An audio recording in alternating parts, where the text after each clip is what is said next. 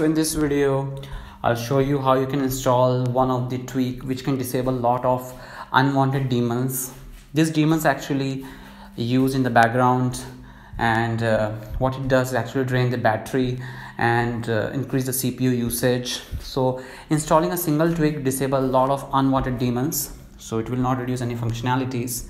So you need to uh, add hack your iphone repo if you don't know i just link down below so you can add that repo.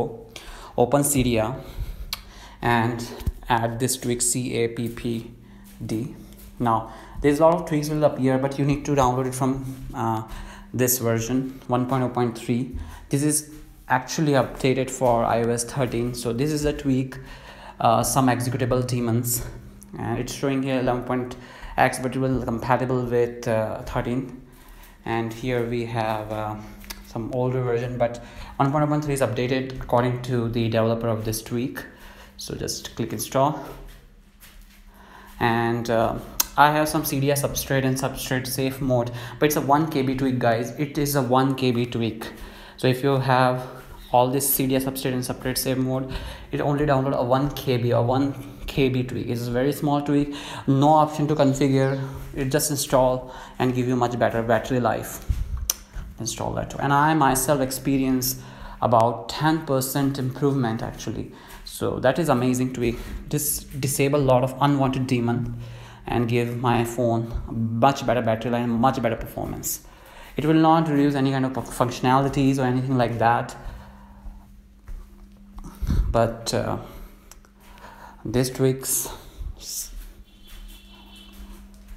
seriously help to increase my battery performance.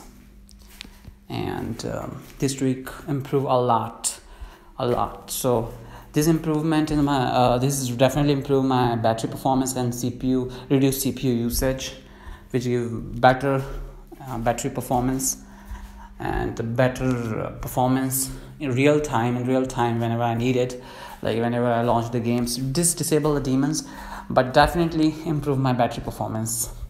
And this definitely improve battery health as well by 1 to 2 percent. So earlier it was 86 percent now it's showing 87 percent now. So which is amazing battery performance as well. This trick disable a lot of unwanted daemons guys. So hope you like this video. If you do please subscribe and hit the like button. Thank you so much